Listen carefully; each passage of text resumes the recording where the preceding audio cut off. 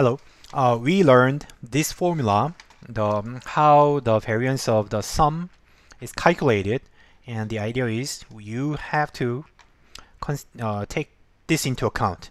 Two times the cross product, like the expansion of quadratic uh, term. And then standard deviation follows directly from this formula. And if you apply this idea to our example, our example have these numbers. So there are two assets, A and B, and both assets have the same expected uh, return. But the variance of A is 36 and variance of B is 8. So B is safer and A is more risky. And uh, the covariance between them is negative 16. So they are moving exactly the opposite direction. Um, so now we are going to consider the portfolio, which is simply A plus B. Portfolio X equals A plus B. And its expected value is simple. The, the expected value of the sum equals the sum of expected values, which is 20. Uh, but variance is not that straightforward. Variance of the sum is sum of the variances plus 2 times cross product. And that is, so then plug in the numbers, 36, 8, 2, minus 16. Plug in the numbers, then you get 12. 12 is what we got uh, earlier. So 12 was the variance of the portfolio. So uh, it's clearly seen. If the there was no covariance, then the variance of the portfolio would would be simply the sum However, uh, because the covariance was negative, or is negative, so the resulting variance is much smaller than the sum. If the covariance was positive, which means they are moving together, then uh, the variance would be larger than larger than the uh, the sum of the variances, right? That's what we can learn from the variance. And Earlier, I said the, the magnitude of covariance has no direct meaning. That is right. It itself, the covariance itself cannot be interpreted, but it is still important because it involves in the calculation of variance. When you calculate the variances, the correlation coefficient is, is useless. So it is already standardized, so it does not, it's not, it cannot be directly used to calculate the variance, but uh, when you have to use the covariance to calculate the variance and then standard deviation follows from this. So if you want to calculate the standard deviation of the sum of random variables, still you need uh, covariance, the covariance. So covariance is uh, important mathematically or statistically for this kind of formula, but uh, practically interpretation is not easy. We cannot tell how big minus 16 is without looking at the variances. So it's still what's po the point is the the size of the covariance matters relative to the variances, their variances or their standard deviations. Okay, so uh, it is the diversi diversification. The risk is diversified uh, by the negative covariance, which means when one is not doing well, the other is going to uh, complement. So, so they are moving other, the other way, and diversification is uh, is great. It's doing really a great job in reducing the risk. Now, so far, we only consider the variance, but in many examples, actual uh, applications, the standard deviation is more, more common measure. Uh, so we need one more algebra, one more step to obtain the standard deviation. So let's think about the standard deviation of x and standard deviation of a and b.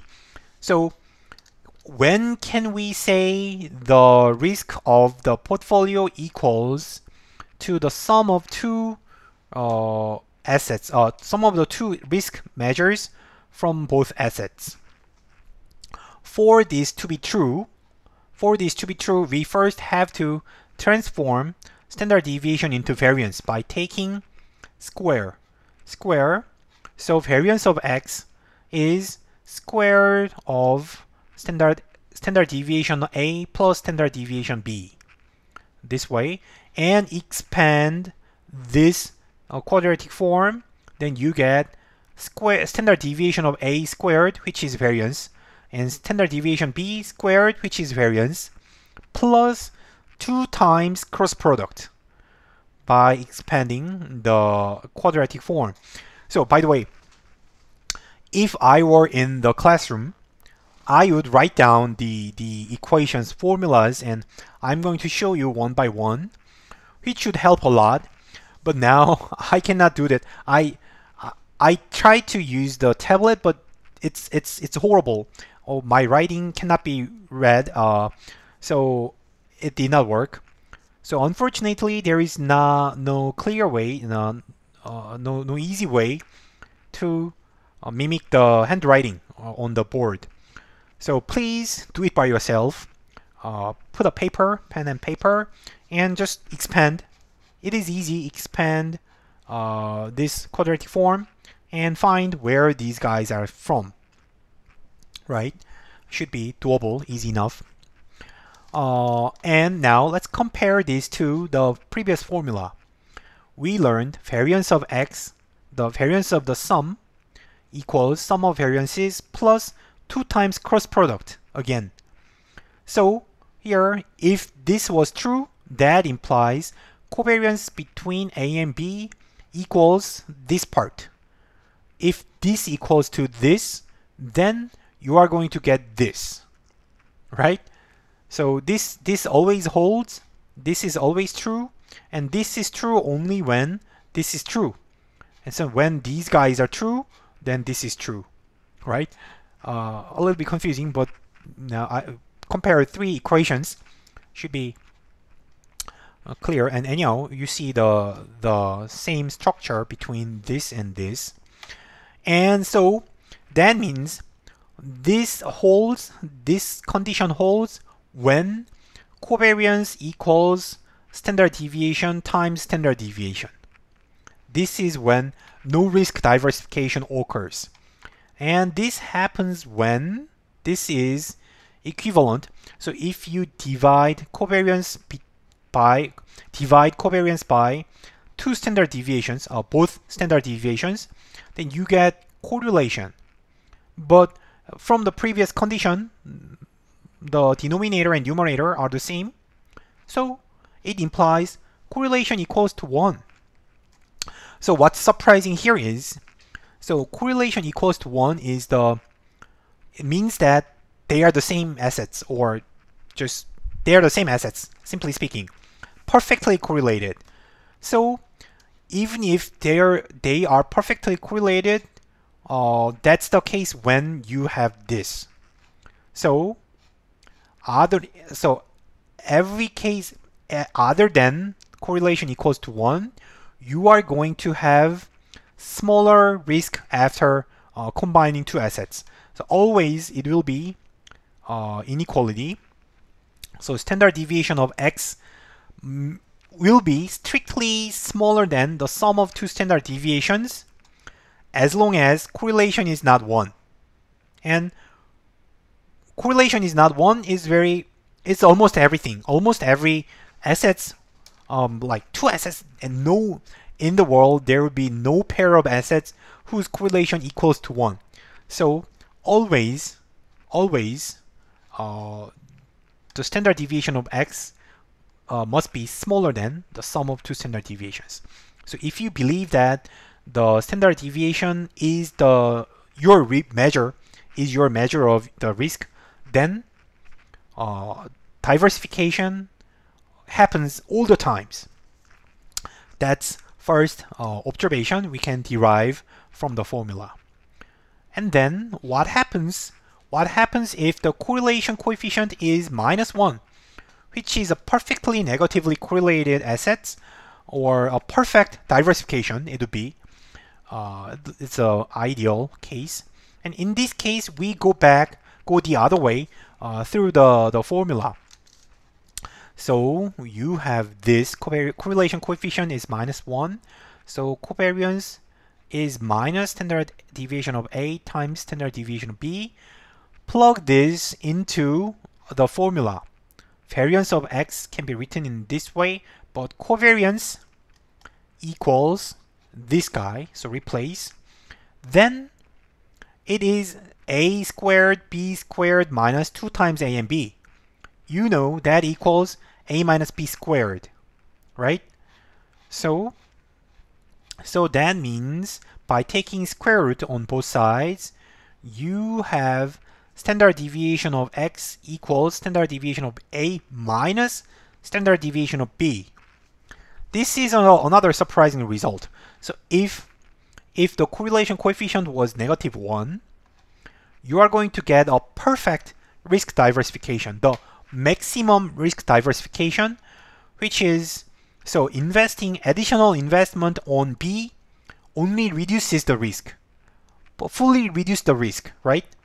So like standard deviation of B is the risk when you invest on B, but that risk is helping you to reduce your risk and uh, the, the, the trade is one-on-one. -on -one. So, so all the risk from B is now a good thing. Fully a, a kind of negative risk, it becomes a negative risk to you that, that helps uh, to diversify the risk. So this is the minimum possible minimum possible uh, risk when you invest on two assets equally on two assets and uh, third example, third case we can think about is, so then what happens if the covariance is zero? And in particular, we are, let's, uh, in chapter two, we learned statistical independence. And statistical independence means two random variables are independent, literally. And in that case, I did not show this, but when two random variables are independent, statistically independent, their correlation coefficient is zero. It's intuitive to understand. Of course, covariance would be zero and correlation will be also zero. So assume this case when they are independent when or when they are uncorrelated, this term goes away. The last term goes away. And then you only have this, which is smaller than this guy. So anyhow, still you are uh, you get a lower risk by investing on both assets. So what it means is even if they are not negatively correlated, so negative correlation is hard to find in reality, but it doesn't need to be negative correlation. Zero correlation still implies risk diversification. Risk is diversified uh, even when two assets are not correlated. So just they are random, two different assets. Still, investing on both will help you. Uh, okay. Uh, by the way, this is just a general theory. I'm not teaching you how to invest. So do not believe in me. I, I'm not an investor. I'm not good at investment. Uh, just, just what you have to understand from this is how the covariance and correlation uh, play in uh, in in calculating the uh, summation of two random variables. Okay, uh, I'm going to consider a more realistic um, uh, example with real data in the next slide. See you in the next video.